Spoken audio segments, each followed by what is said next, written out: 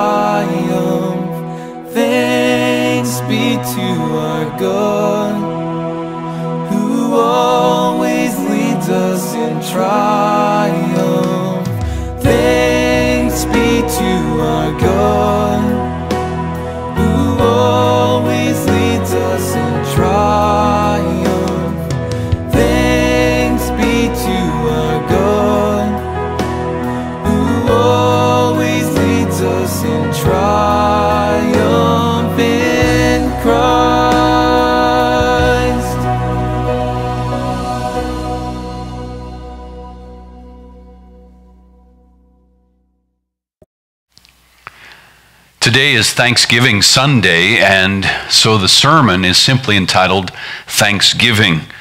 The main idea is that we all should have a lot of thanksgiving, not a little. And to be honest, many of us are fairly light when it comes to the area of being thankful. People do and go and give to us all the time, and yet sometimes we don't remember to say thank you and often we expect more of them. So let's all learn to be just a little more thankful. And for our text, we're going to Colossians chapter 1 today, verse number 12. And Colossians has a lot of thanksgiving in it. In verse number 12, the Apostle Paul is praying for the Colossian believers. And listen to what he says Colossians 1:12. Giving thanks to the Father who has qualified us to be partakers of the inheritance of the saints in the light. Now, admittedly, that verse is quite a mouthful. And at the end of today's sermon, I'll give you the interpretation and a few applications for that verse. But before I talk about Paul's thankfulness, I'd like to talk about Paul's Lord and how thankful the Lord Jesus Christ is. He has a very thankful heart. And in order to illustrate it, I'd like to go back to two biblical scenes in the Gospels where first we see our Lord Jesus Christ at the grave of his friend Lazarus. You might remember reading about it in John chapter 11. The shortest verse in the Bible is John 11, 35, where our Lord Jesus Christ is said to have wept. Jesus wept, and he was weeping because his dear friend Lazarus had died. And at the grave, Jesus prayed. And I'd like for you to listen to Jesus' prayer because it's not a time when you would expect somebody to have a lot of thanksgiving. And yet, listen to what the Lord says. It says in John 11 41 that uh, Jesus lifted up his eyes and said, Father, I thank you. Thank you? Now, what would our Lord Jesus or anyone have to be thankful for at such a moment of grief and loss? There are two things listed here that we can easily pick out. First, he said, Father, I thank you. He was thankful for his Father in heaven. He was thankful at a time like that, with such grief in his heart, he was not alone. he could look up and know that just above him in heaven is a strong, compassionate, comforting, loving, supportive Father who's listening to him and helping him. He says, Father, I'm thankful for you. And the exact same is true for all of us in our moments of grief and every other moment of life. There is a Father just above you in heaven. And listen to what Psalm 34 and verse number 18 says. Psalm 34 and verse number 18. This is what we read The Lord is near to those who have a broken heart and saves such as have a contrite spirit. Now, back in John 11, Jesus is also thankful, it says here, that his heavenly Father heard him. There was a faultless, open, direct line of communication between Jesus and his heavenly Father. Listen to how the verse continues. John 11, 41. Father, I thank you that you have heard me, and I know that you always hear me. But because of the people who are standing by, I said this, that they may believe that you sent me. He says, I'm thankful for my Heavenly Father, and I'm thankful for the faultless, open, direct line of communication that exists between Him and God. Now, that's something to be thankful for. That there's a, a direct line between us and God. You know, I can't get a hold of the Prime Minister of Canada. Uh, I can't even get a hold of some of the departments in the government of Canada. You know, if I tried to dial today, say, Revenue Canada or maybe employment insurance, or even if I perhaps tried the municipal government to ask them something about maybe my local garbage pickup, you know what would probably happen. I'd, I'd likely he- hear a recording, and then maybe that recording would tell me to press one, or press two, or press three. And maybe even after I pressed one or two or three, I might get another recording. And you've probably been on the other end of the phone sometimes when you go through all of those button pushing exercises and you get disconnected and you have to go back through and do it all over again. Never happens with the God of the universe. There is a direct line of communication between Him and the believer. He speaks to us through His Word, we speak to Him through prayer. And I am so thankful that our Father in heaven has this open line to every one of us. And we don't even have to speak. He knows our thoughts. And so at this very moment, while I'm preaching to you, I'm talking to the Heavenly Father, silently asking Him to help me and to take these words and make them special to you. Now, going over into uh, Luke chapter 10, we have another biblical scene where the 70 that Jesus had sent out to preach the good news of the kingdom two by two throughout the country had returned rejoicing to him that even the devils were subject to them in his name. And you might remember Jesus said in John chapter 10, I saw Satan fall as lightning from heaven. And then in John 10, or in Luke 10, uh, 17, Jesus prayed. And listen to his prayer. It begins almost the same way as the prayer that we looked at in John 10 at the grave of his friend Lazarus. This is Luke chapter 10, verse 21. In that hour, Jesus rejoiced in spirit and said, I thank you, Father, Lord of heaven and earth, that you have hidden these things from the wise and prudent and revealed them to babes. Here's our Lord Jesus Christ beginning his prayer once again with thanks. And what's he thankful for?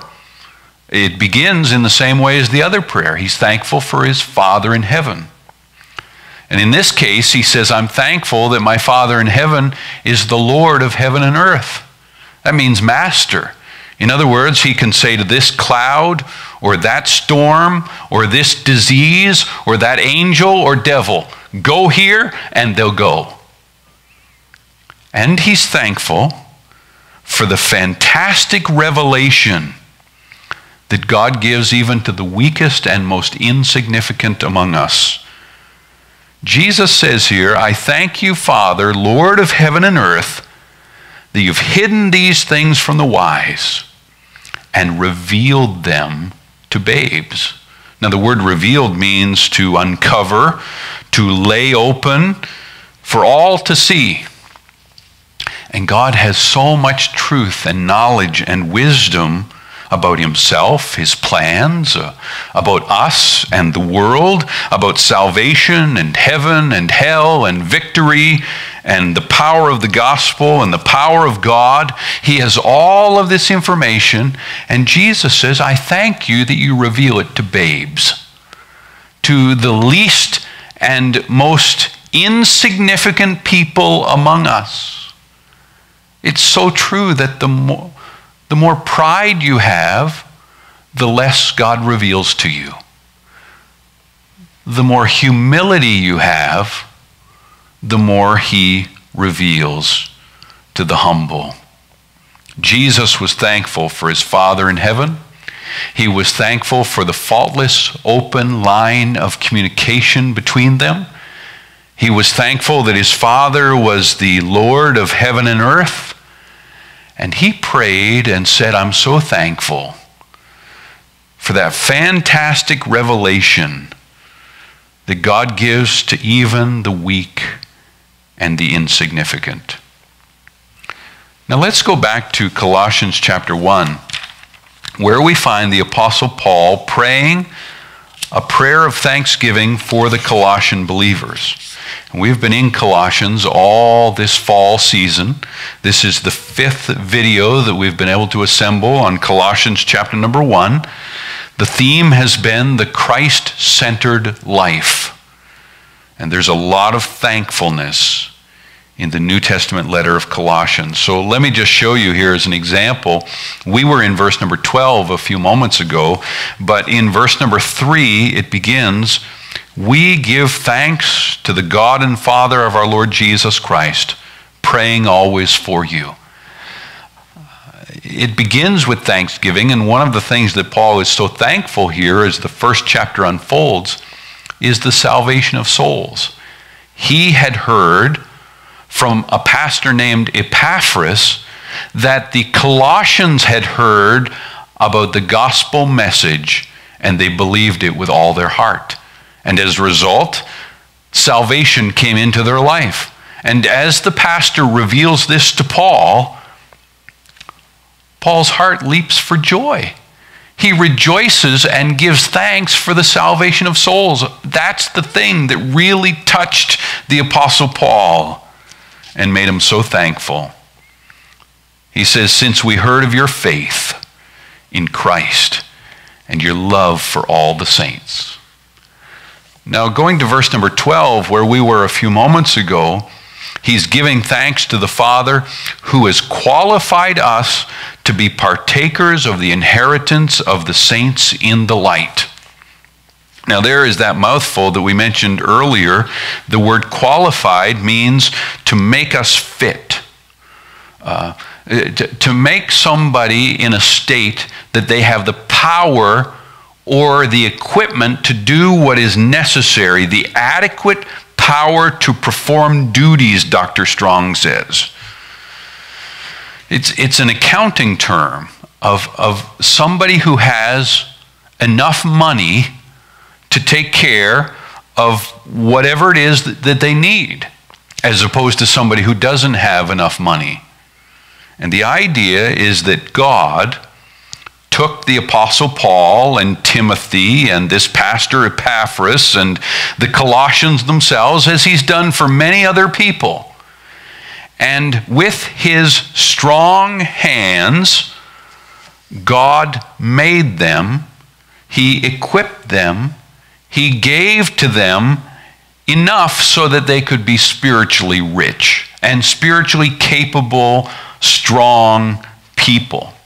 And he compares them now here to the saints. Did you hear that at the end of the verse? The inheritance of the saints in the light. So let's just think for a moment about the saints in the light. And there are many of them that have gone on before us.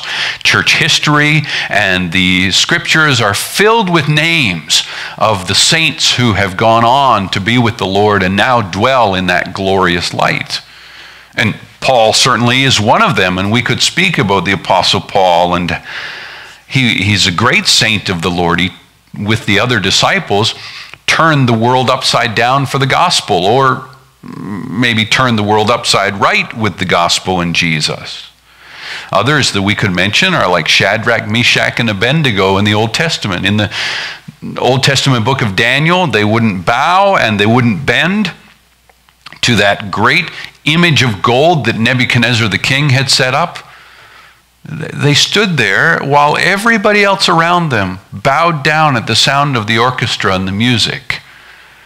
And the king threatened to throw them into the fiery furnace. And they said, We're not going to bow.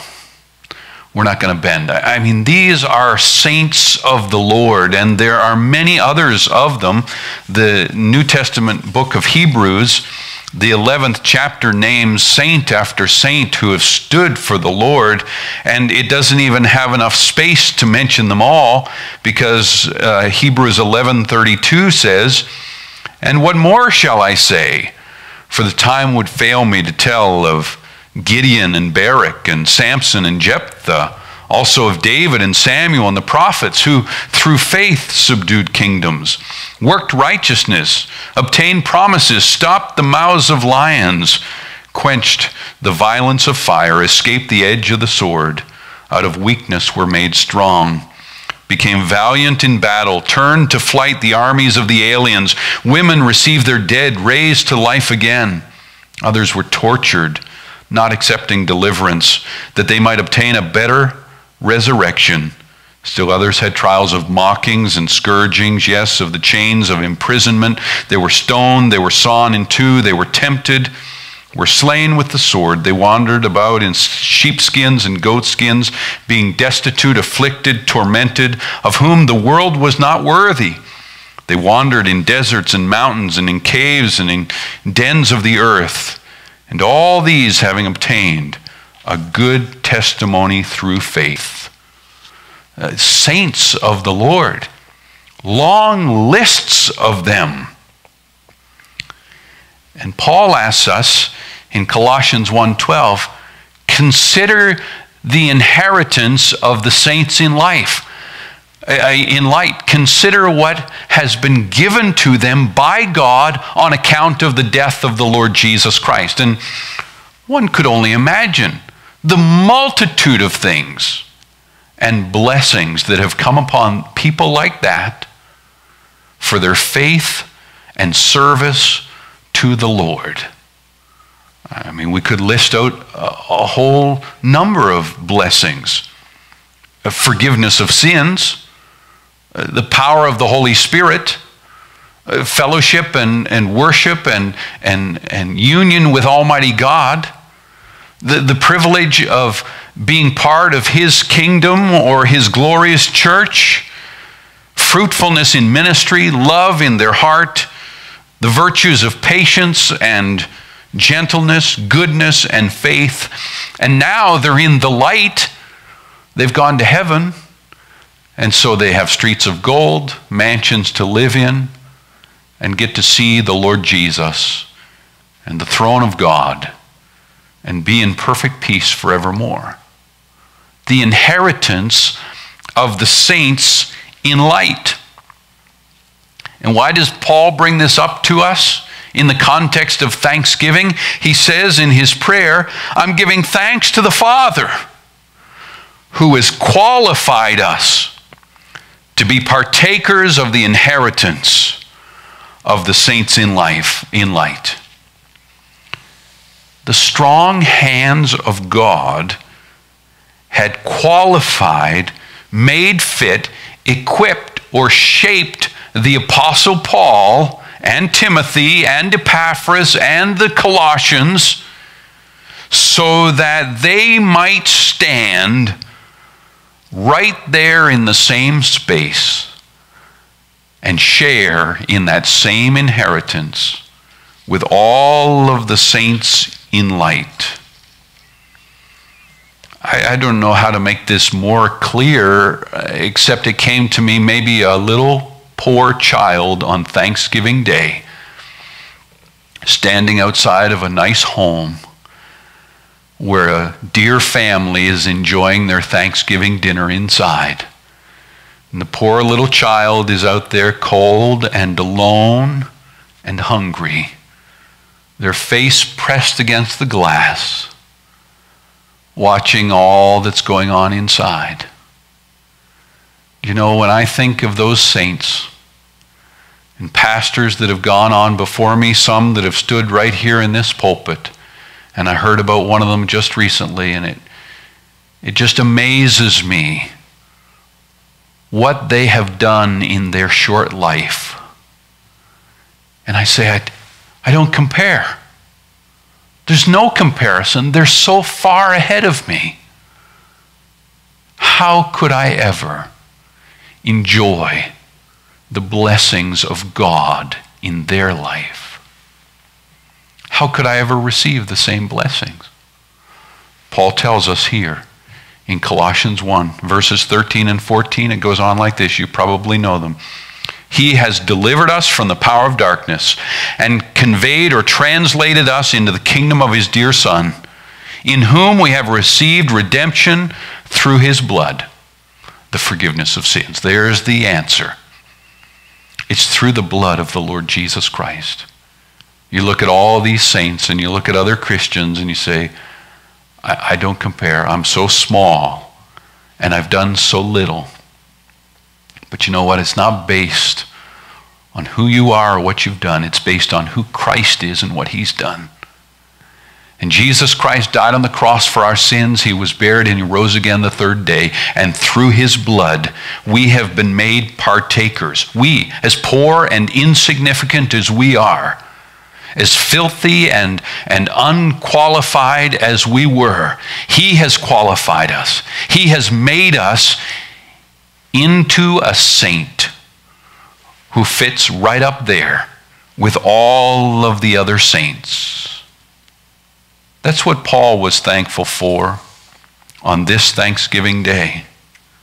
Our Lord Jesus, we saw, was thankful for his Father in heaven he was thankful for that faultless, open line of communication between him and God. He was thankful for his Father, who is Lord of heaven and earth. And Jesus was thankful in his prayers for the fantastic revelation God has for the weakest and most insignificant among us. And here in Colossians, verse 3, Paul was thankful for the salvation of souls.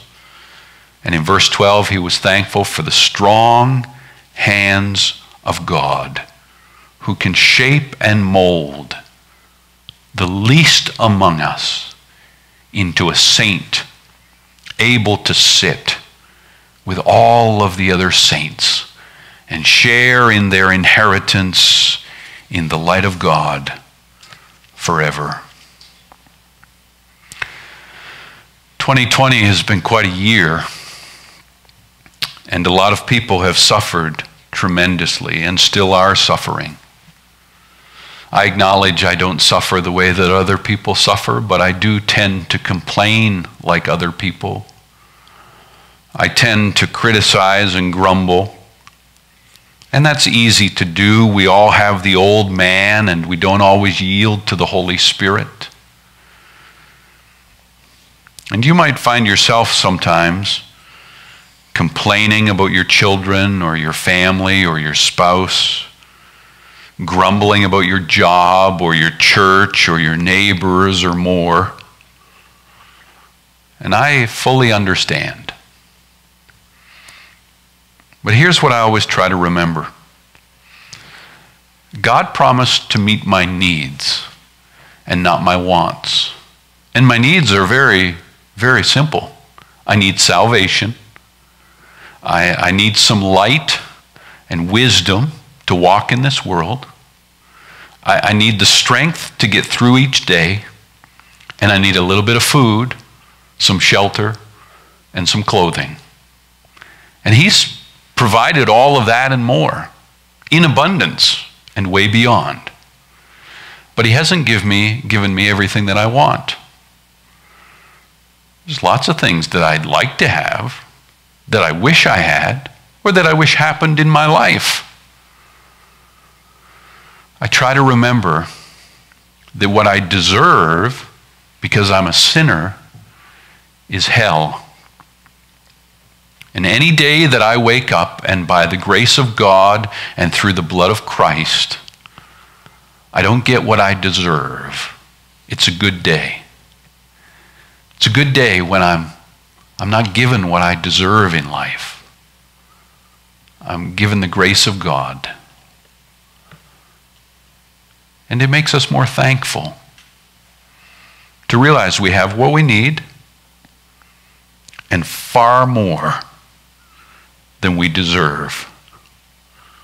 And so we should be thankful. We've got a dear man in this local church, and he's got a great thankful heart. During this pandemic, especially early on, he took the names of every nurse that he knew. And he knew quite a few, and then others supplied names for him. And he made these signs, beautiful signs. And he posted them all over his front lawn. He has a large lawn, it slopes way up. And he posted these signs of the nurses' names all over his lawn. And he, he made a nurse's prayer, and he posted that out there as a way to tell everybody passing by during this pandemic, he's thankful for all the nurses and what they've done. You know, if each of us think we can come up with a simple little way to make everybody aware of how thankful we are, and it'll mean the world to them.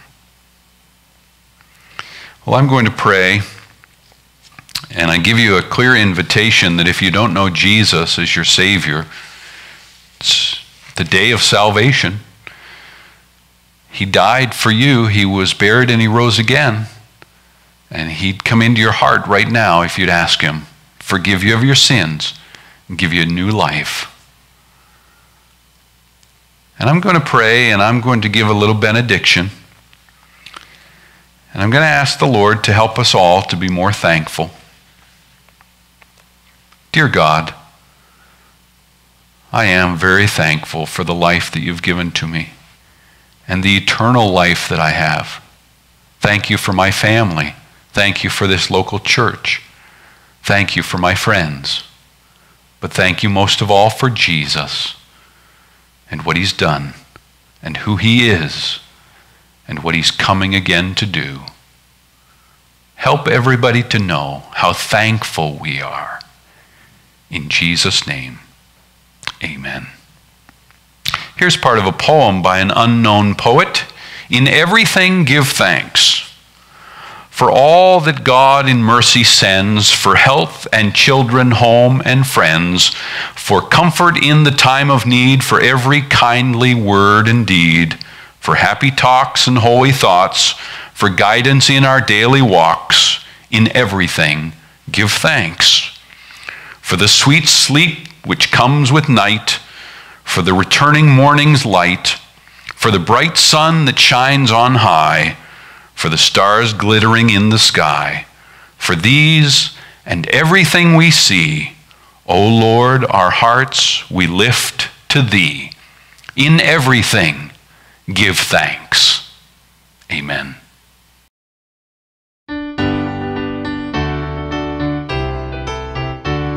Give thanks, give thanks, Give thanks unto the Lord, for he is good. The Lord is one, the Lord is great, and he is good. Give thanks, give thanks, give thanks unto the Lord, and his love. It will endure forevermore, his love will endure. Give thanks,